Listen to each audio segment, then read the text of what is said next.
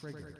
It's like triggered is a very the term itself is a is, is a very victimized term, right? I mean, it's like you triggered me with this. I have a feeling you caused it. You need to go.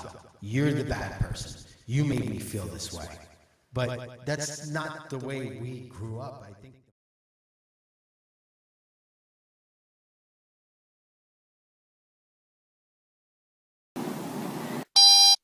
Yeah, the solution is I have to figure out who's behind this shit. What, you're gonna figure it out by yourself? You can't, No. can you not? So, gas bill. Before you took me home, I wanted to give you a hug. Well, I wanted a hug.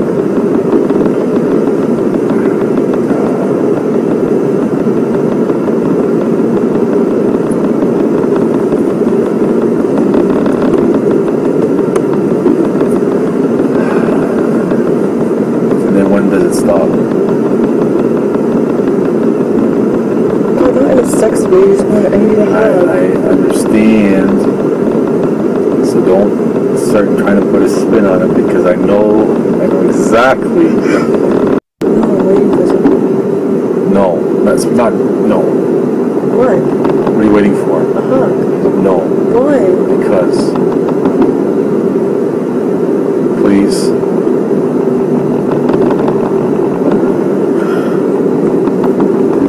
Thank you. I'm not thanking you for not giving me a hug. I'm thanking you. I'm not thanking you.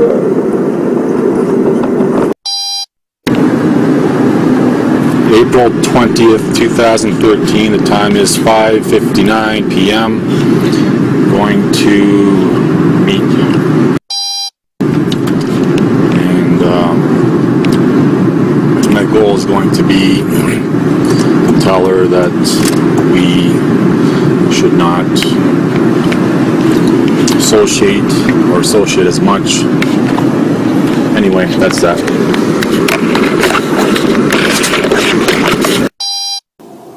Are shot. My knees are shot. Yeah, but you're still pretty good in bed, right? Are you? Oh God, please tell me you're not. You are? Terrible.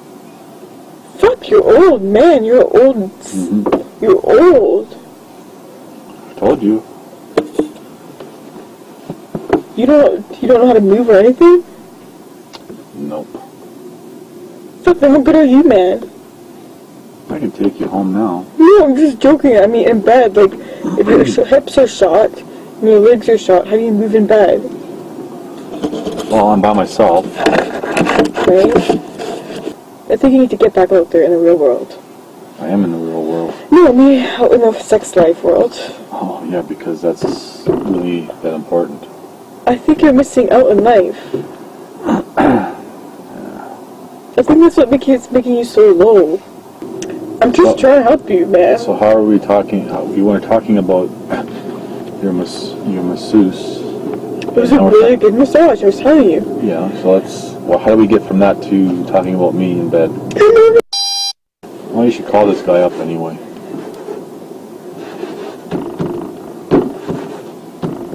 And then you can get get laid get out of your system.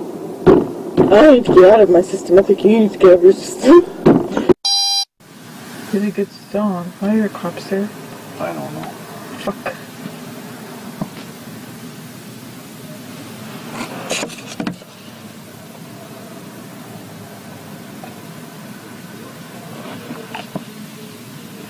Fuck, why are the cops there just sitting there? Oh my fucking god. I'm scared.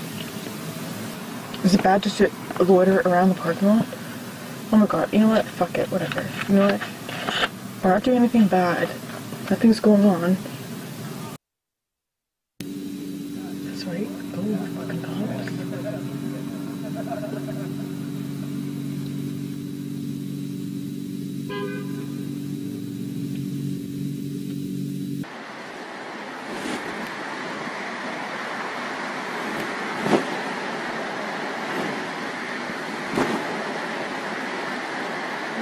Mad at anything?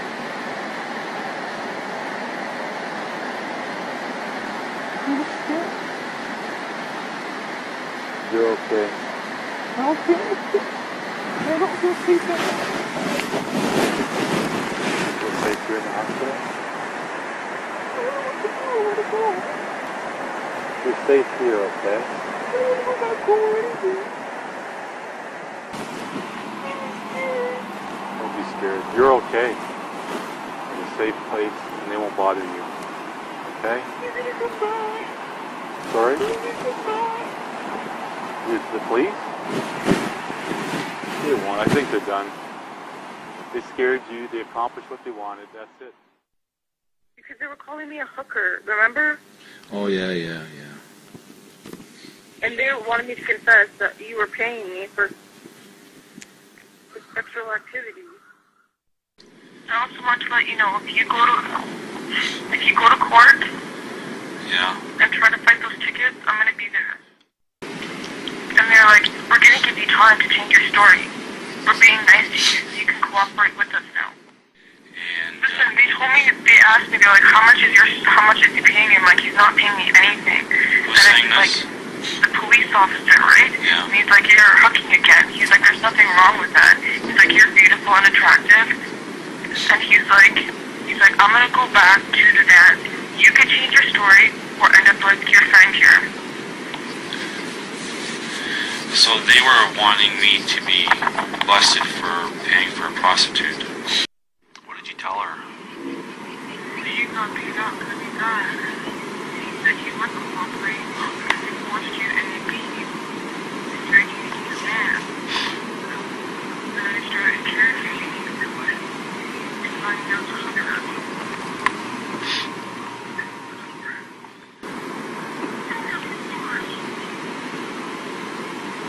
are you sorry for? And I'm, I don't, I don't, I don't care. Well, I'm making a report, and I'm, I'm sorry if, if, if this gets in the way of anything, but I'm making a report to how the police treated me and how the police treated you because they totally abused their authority. That's it? Yeah. That's not what they told me. Or they tell you. They said they were gonna charge me for abuse of your authority.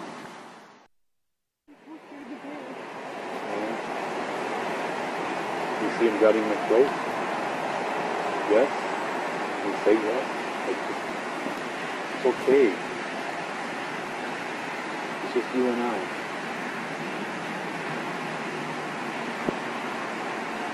You only time I wanted you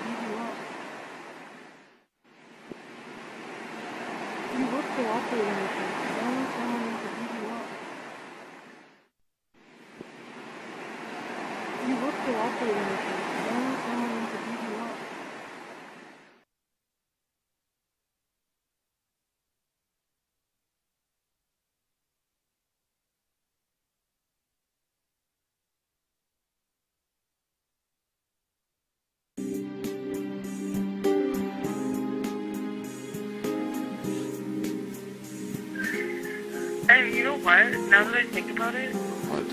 what happened last night was just whatever. Like, you didn't get charged for anything. They weren't gonna charge you for anything. They just made up those charges, like resisting is arrest and uh, assaulting an officer. Yeah. Like none of that would have happened if they didn't do what they did. Yeah. Exactly.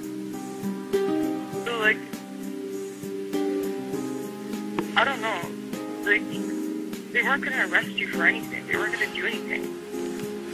For what? They couldn't do anything. They, they weren't doing anything. Yeah. I know. Mm. Dude, because they all fucking planned it. It is what it is. So that's what's telling people about me. That's what people about me. What do you mean? That. Uh, yeah.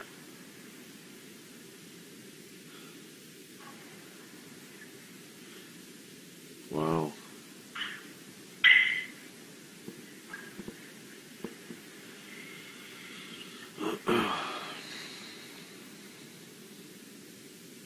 well, no wonder I'm not getting a fucking job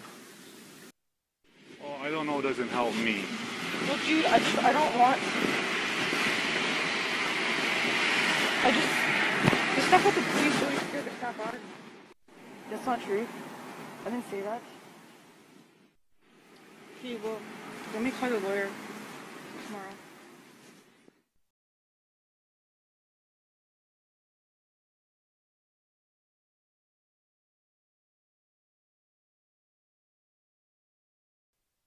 Do you get it now?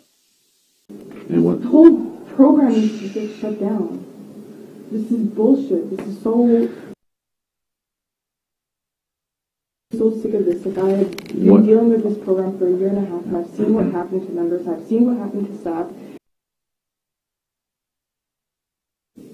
And there's all Well- behind the scene crap that no one knows about. See- I need to get the hell out of here. That's a choice that you have to make. It's not my fight. It is.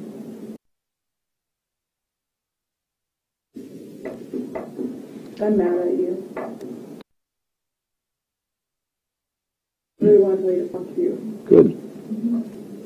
So I'll say it. Because you're running away now. I'm not running away. Yeah, you are. No. Yeah, It's you're called- leaving. You're leaving members behind. It's called self-preservation. Yeah, whatever. Don't get mad at me. It's okay. Okay, this is really, really, really involved. Oh, Yes. Wow. This would take a long time to get through this. Um, this is a major project. And well, I shouldn't say everybody. Everyone who has what's in your hand realizes, like, oh, damn. You- you- You're done. Especially something like this. Something along these lines. Well,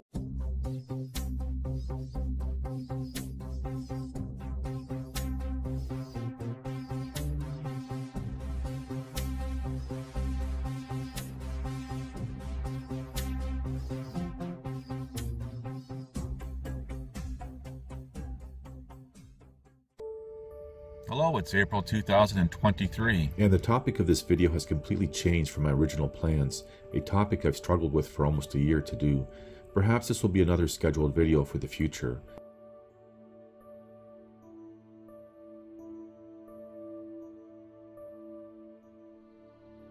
Brief of my professional and personal bios, my story, and some topics I've discussed. The overlays either support or connect the dots as they usually do. I, I testified to was how you can't actually drive a car legally. I mean, it would be impossible. No one can get this car from here to the end of the street completely legally. So none of us are going to arrest you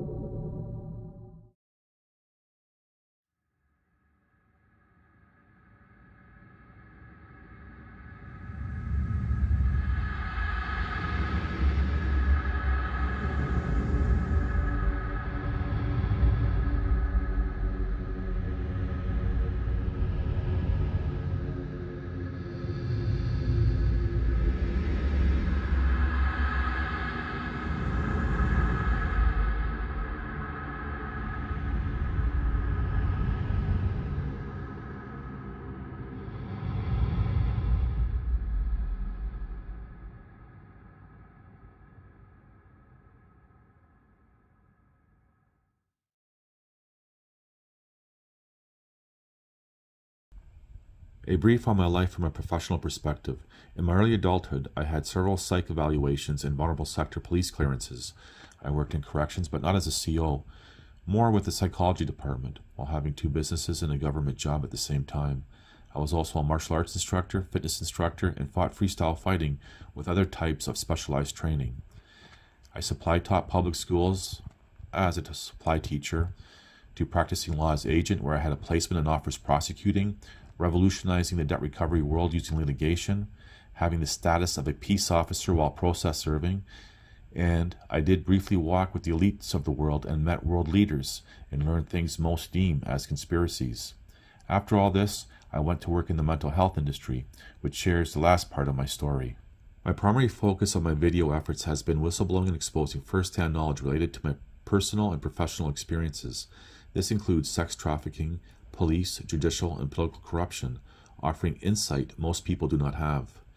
Did you know that judges have lawyers who work for them? And although a judge, in theory, may not, for example, be allowed to learn about a case in any kind of media, their lawyer can. How about there being two sets of criminal codes that appear identical, but one is used for authority types, while the other the commoner? Setting aside political interferences and personal agendas. A brief on my life from a personal perspective. I have shared my connection with the Most High, also known as God with a capital G. I survived being killed in my mother's womb when an estranged family member tried to kill me by pushing my mother down some stairs. My uncle on my father's side saved us both. I was born dead for 45 minutes after surviving abortion, before any possibility of having any belief system influence. I will repeat this before the possibility of having any belief system influence. I stress this because this is the basis of my relationship with the Most High. I died by drowning around 5 and 12 years of age with little exposure to any belief system. A woo woo event took place March 22, 1998, which would parallel my experience during the second drowning when I was around 12 years old. These would be known as my death experiences, which differ to my near death experiences, such as being beaten and left for dead by a gang beating in junior high, being deliberately poisoned for an insurance trust fund that would later be stolen from me sometime after I moved out on my own, just after I turned 17 years old. Aside from these examples, other somewhat related examples, some may say as miracle examples, is when I had ear infection so bad, doctors said I would never hear again. I was born disabled and should have never walked. Scarlet fever, double pneumonia, and bronchitis, I've had these things. One time, I exited a vehicle at the last second that soon after was in an accident that would have killed me, and the list goes on. Although my family comes from Central and Eastern Europe, and I was born in Canada, it appears my bloodline traces back to ancient Sumer, and I've showed evidence of this in a few older videos. The meaning of my first name, Anthony, means praiseworthy, while my last name, Maradin, means warrior for truth and justice. I also have a lifetime of woo woo events, which differ to what some may call spiritual events. My, as a descriptive, earthly paths in life have given me first hand knowledge and perspectives most do not have. There is so much complexity with what I've been through, it is difficult to remember every detail, so I will go over the highlights. Also, to keep this as short as possible. Everything is supported with a plethora of independent evidence, which I share examples of in other videos and downloadable PDFs. Here is my story. April 20, 2012, I move across the country to start a new life. The first job I was able to get was cleaning public toilets until I got a position in my new career in June 2012. The executive director at the time, Dr. R, and I just finished a meeting and he had plans for me to move up in the organization, to move up to higher positions. As we were leaving his office and I was standing in the doorway, a female, the same one that would become central to my story, was walking through the front door and proceeded to go straight ahead. Dr. R smiled and said to me, You can have sex with her if you want. I was shocked to hear this. I told him I did not want to have sex with anyone and explained the history with the woman that I married. I have affidavits from back then supporting this.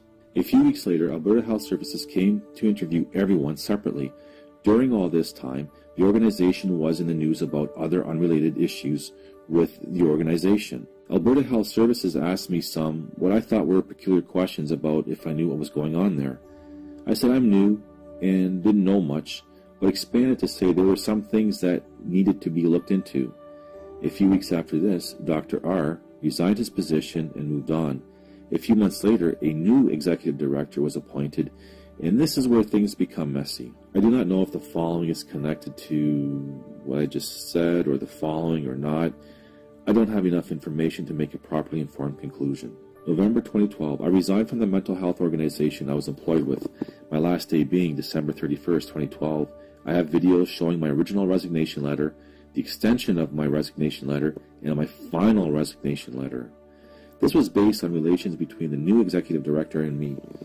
I learned about real sexual abuse, trafficking, whatever you want to call it, by influential men in the city. My plan was to return to my province of origin sometime in June 2013. December 2012. A female attendee, the same one that was walking through the door I had mentioned earlier, accused me and a male coworker of some sort of sexual assault. I do not know anything more. Police records show that she has an extensive history of doing this to men. No one wanted to speak to me. I tried to address my concern. I never saw this coming. I made the first audio recording of her in December of 2012, and I've shared this in many videos.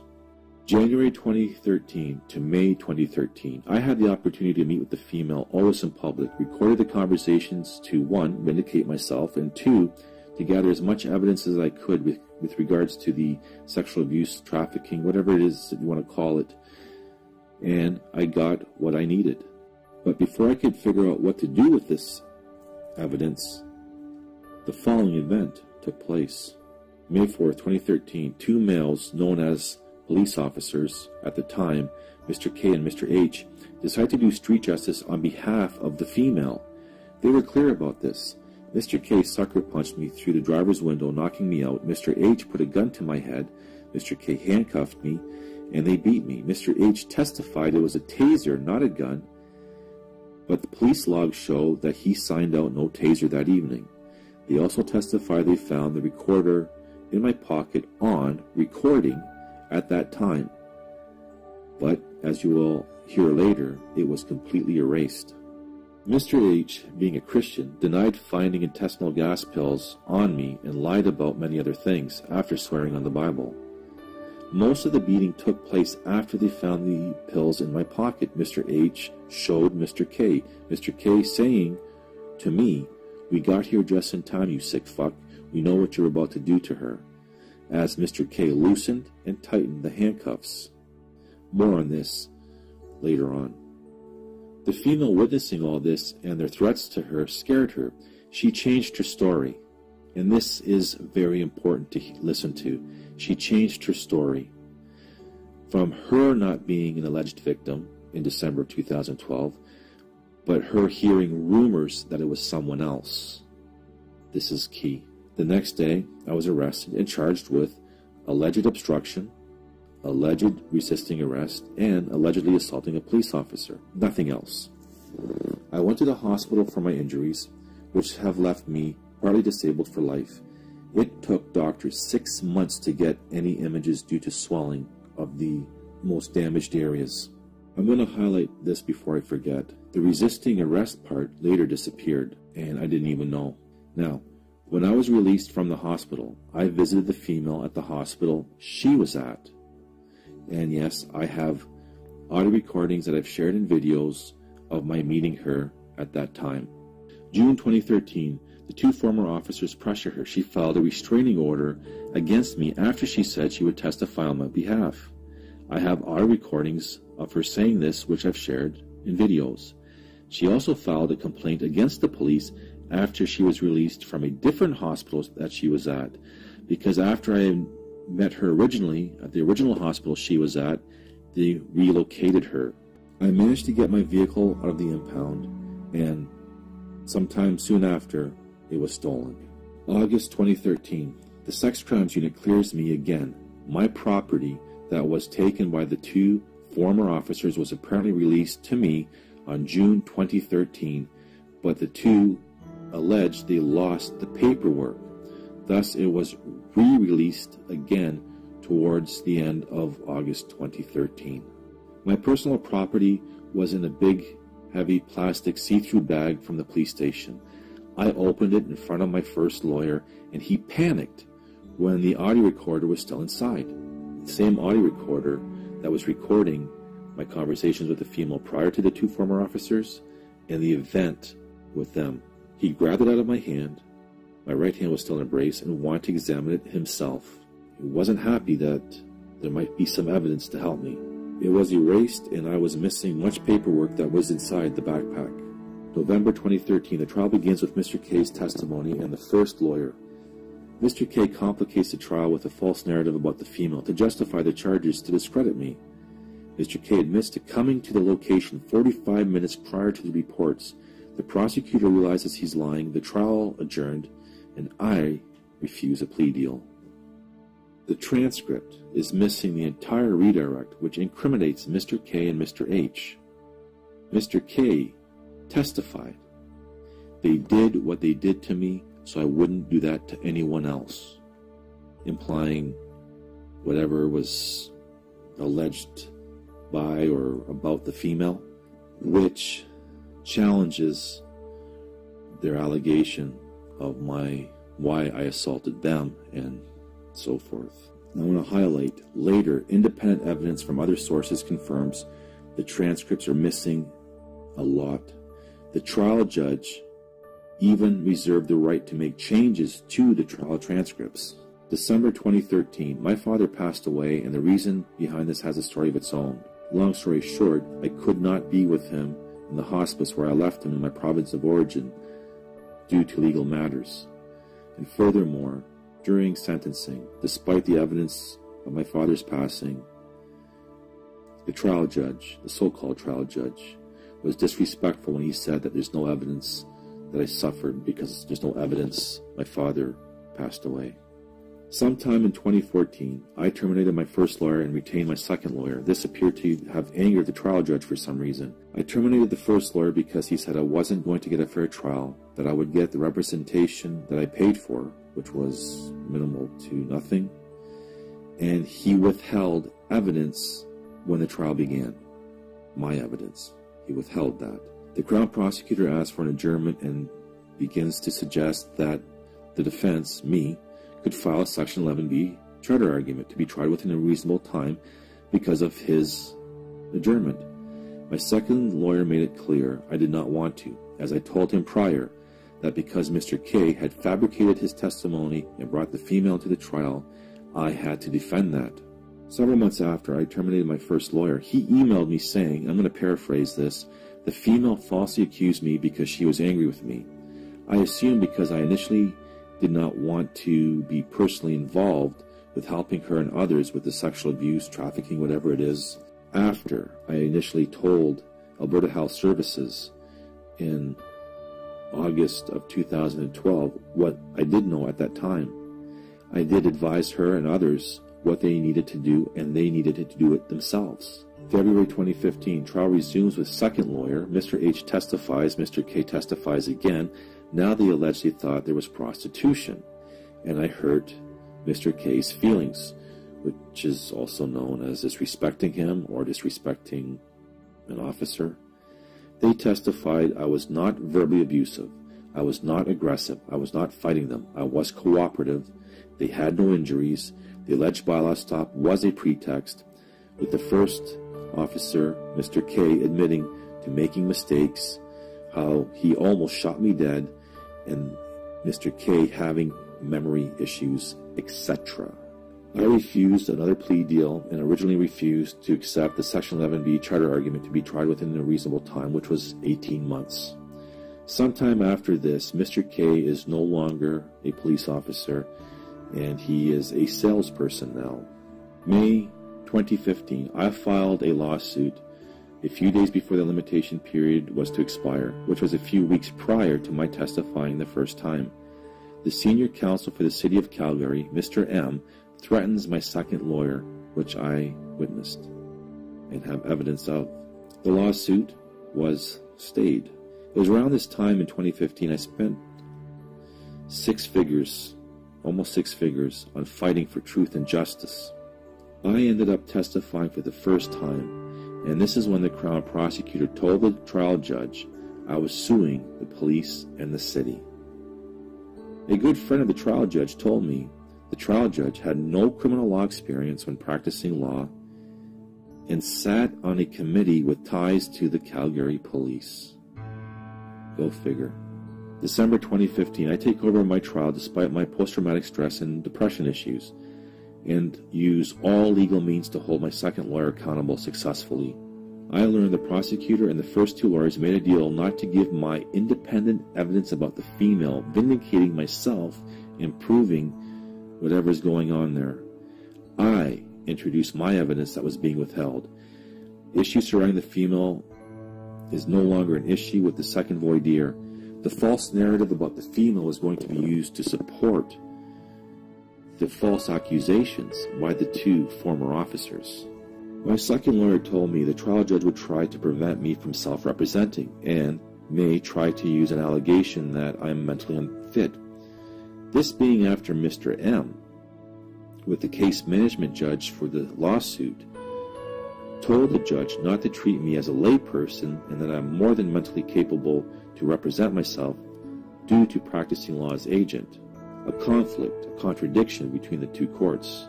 Anyway, I addressed this in my filed materials before the criminal court, saying this other court is deemed me mentally capable. April 2016, I give closing summations only using the officer's testimonies to make my case. I have a video showing the full transcript of this. July 2016, I am convicted of both charges of allegedly assaulting a police officer and alleged obstruction based on allegedly disrespecting an officer. Prosecutor now seeks jail time for the first time, and this is important. I immediately filed my Queen's Bench appeal materials, including the Section 11B charter argument, to be tried within a reasonable time. At first, I was going to use R R v. Askov 1990, but relied on R R v. Jordan 2016. The trial judge cast doubt on convicting me three times. I'm going to repeat myself. The trial judge cast doubt on convicting me three times in his conviction. I have videos showing this, such as, but not limited to, quote, if I am wrong in finding Mr. Maradin assaulting a police officer,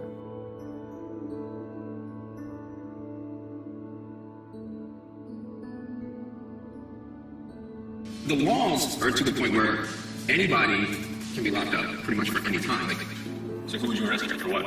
It seems like you need a reason. You were saying earlier. but you don't. That's the thing you're not understanding. So like they were in the street. That's it? That's enough? Yeah. We're setting the stage and then going, oh my gosh, look at this stage. Well, yeah, we created it.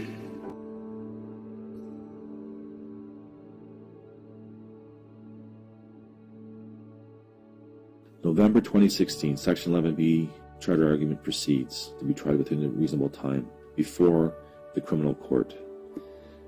Now, the prosecutor, prior to entering the courtroom, briefly told me outside the courtroom that this has to go away today, that day. And he had some sort of sympathy for me. Now, in front of the court, the prosecutor agreed that the trial exceeded the time. Keep in mind, 49 months my trial lasted. We only disagreed on how much longer it exceeded the time. The trial judge dismissed both of us and dismissed my charter argument. December 2016, I am sentenced. I decline to make arguments for leniency. Judge threatens me with two years less a day if I don't apologize. I refuse to apologize, knowing if I don't, I will go to jail. I did say to the judge that I'm sorry what happened to me and went on about the injustice. The trial judge states 90 days. This was later changed to 60 days. The trial judge published my conviction as case law, found by law students writing papers saying I should have been put away for life. A former friend of the judge, and I'm going to repeat this again, told me that the trial judge had next to no criminal law experience and sat on a committee as a lawyer that had ties to the Calgary police. June 2017, I returned to my province of origin in February 2017, thinking my appeal would be successful. I had to leave due to being harassed by police and unknown persons. I have videos, photos, and audios of the said. A new judge takes over the Queen's Bench appeal case at the last minute. We already had a previous judge seized who was on my side. This is why I had to wait many months for this next available date. This new judge for the Queen's Bench appeal mentioned excessive time by the criminal court, but didn't rule on it. The Queen's Bench appeal dismissed with a third lawyer. I had filed my own Queen's Bench materials. No way that this could have been messed up, but it was. Third lawyer took herself off record and said she wants nothing to do with the case. I returned to Calgary, Alberta, crossing the country, and filed my Court of Appeal materials, again including the Section 11B charter argument. February 2018, Internal Affairs conclude their investigation. New evidence is given supporting my position of innocence of all accusations and convictions. I have a few videos showing this. August 2018, Court of Appeal dismissed granting leave with the fourth lawyer, and he took himself off record not wanting anything to do with my case.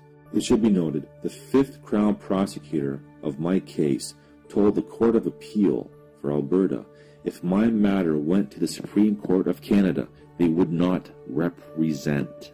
There was no opportunity to bring up how the fourth lawyer and the fifth Crown prosecutor found evidence that the trial transcripts were, in fact, tampered with, or the Section 11B charter argument, etc. I show this in other videos.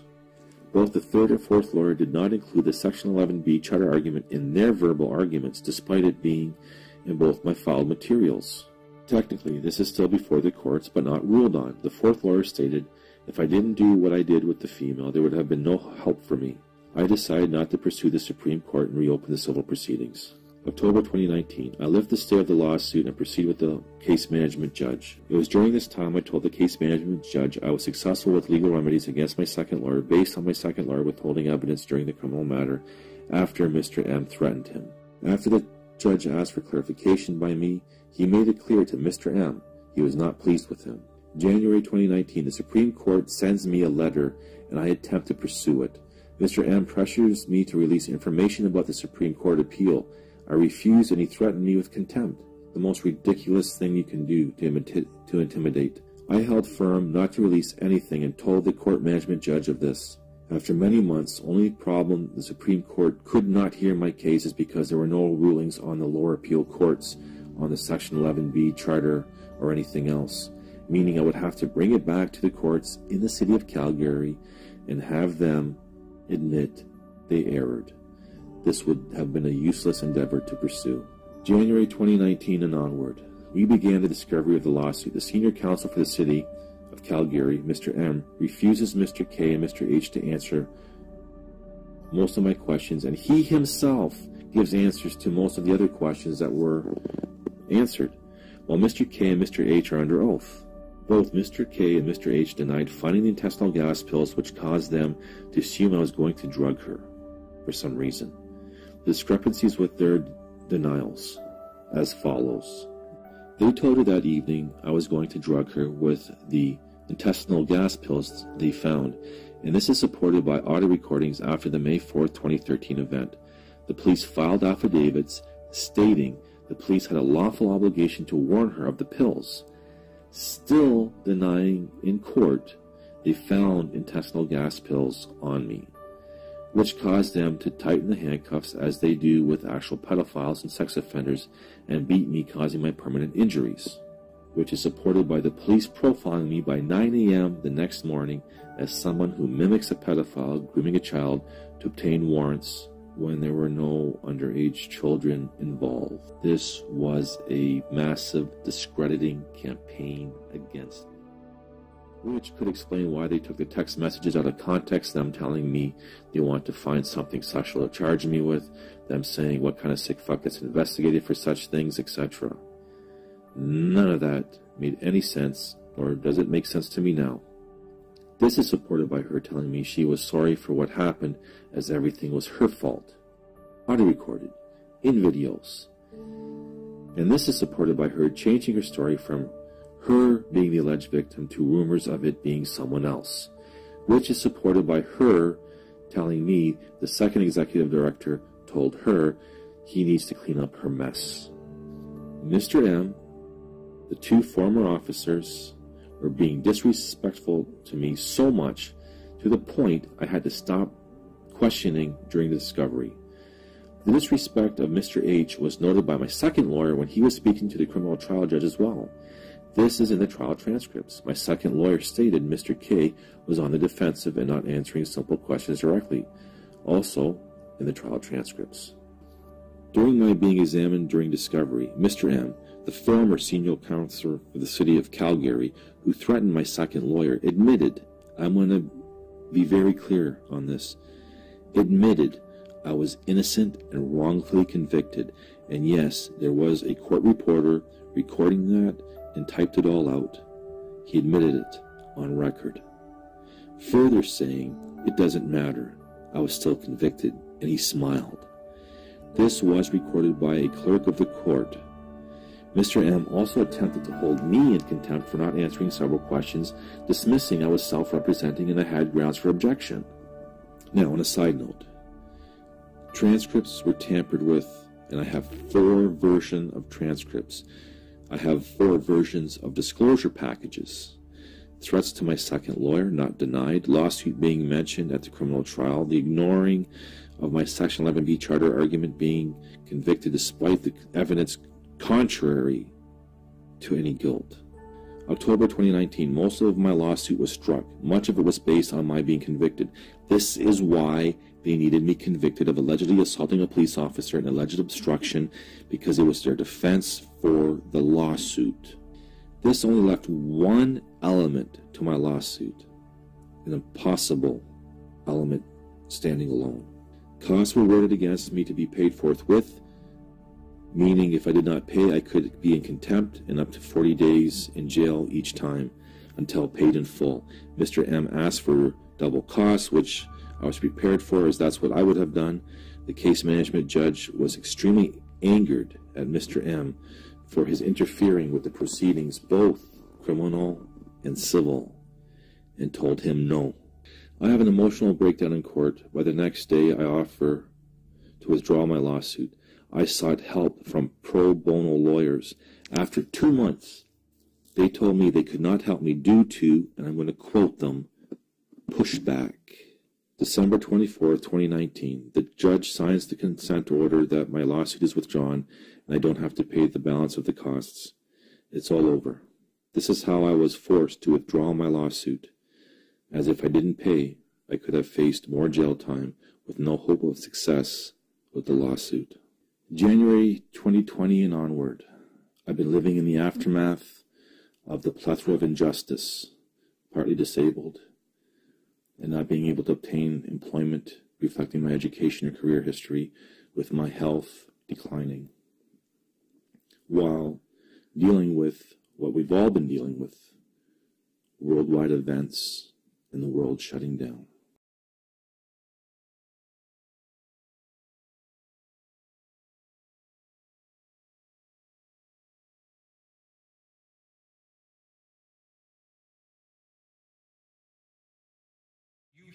Past stories and you see when a cop does something wrong, you see the unions and you see the politicians stand up for the officer.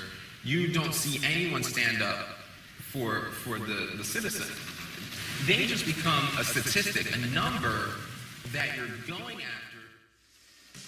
That's what you do in policing. You're trying to do what keeps you out of trouble from all the problems that are internal. Like, I never feared the streets but I constantly feared other officers. What they fear is that we can get away with whatever we choose to get away with. The laws are to the point where anybody can be locked up pretty much for any time. Like one of the cases I did uh, in, in uh, the Senate in Maryland that I, I testified to was how you can't actually drive a car legally. I mean, it would be impossible. No one can get this car from here to the end of the street completely legally. So an officer can arrest you at any At any point in time, so the ones that are afraid. And that's our standard in policing is fear. So if you're afraid, you can do whatever you want. That's the legal standard. Oh. So if I am afraid that you can take my life, then I'm allowed to take yours legally. Where does the fear come from then? Like, in the, in the guys that do have the fear, it sounds like you think that a lot of them, or most of them do. Where does Pussies. I'm not afraid to say it. They were the people that were afraid before they came in, and just because you got a badge and a gun doesn't suddenly mean you're not afraid.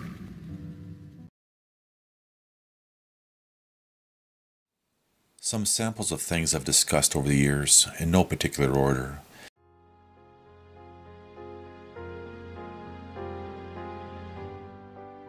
Police, judicial, and political corruption, and how they will lie, cheat, and steal for their benefit.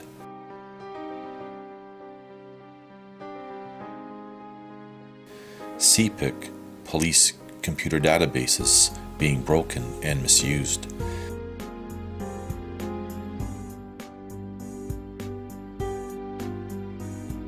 My sexual assault complaints, which I pursued for almost a decade off and on, being interpreted on CPIC as I was the one being complained about.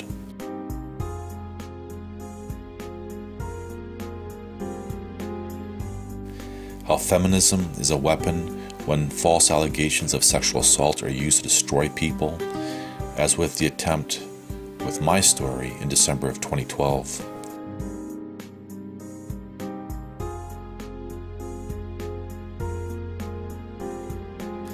Alleged profiling, such as my mimicking a pedophile grooming a child to destroy my reputation, when I was secretly recording evidence from the female regarding my vindication as well as the sexual abuse, trafficking of these vulnerable women at the organization.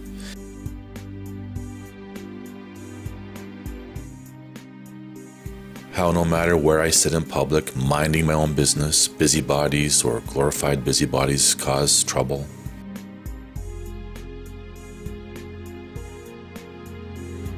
Such as when I was sitting in the park facing a street, and the soccer moms behind me didn't want me there.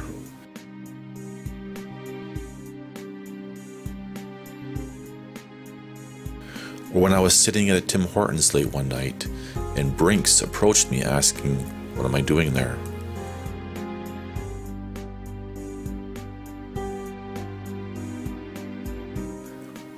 Setting aside the backstory of the May 4th, 2013 event, sitting mind my own business when two thugs changed everyone's lives forever and destroyed mine.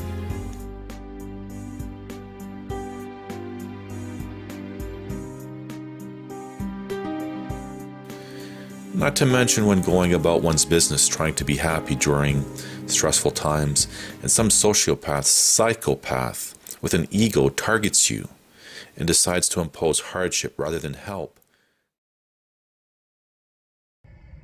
Thank you for watching. Please like, subscribe, comment, and share.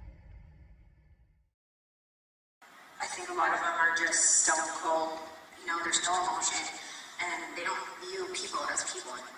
And it's, you almost feel like you are literally living in the twilight zone, and you feel like you're the only sane one in a bunch of insane people. And it's up to the point where I'm afraid that I'm to start thinking that this is normal.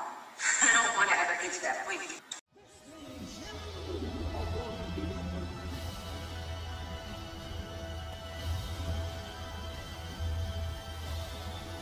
Listen to this and write it down if you can't remember it. You're never going to outgrow warfare. You simply must learn to fight. I hear people say, you know, when is it going to get easier? When you die.